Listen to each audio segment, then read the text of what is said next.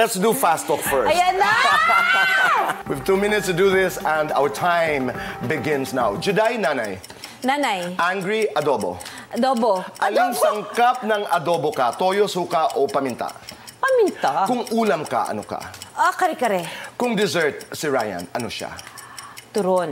Wow. Crispy at malinamnam. Putahe Okay, na tama pa. pinaka magaling ka. Putahe. Putahe. Yes. Na pinakamagaling ako, Filipino. Paboritong teleserye. Mara Clara. Paboritong leading man. Of course, si Ryan. Artista na gustong makatrabaho. Ate V.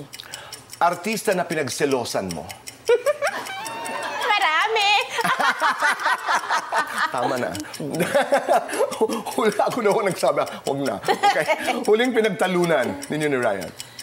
Alarm clock. Ugali mo na namana ni Luna. Mahilig kumain. Ugali ni Ryan na namana ni Lucio.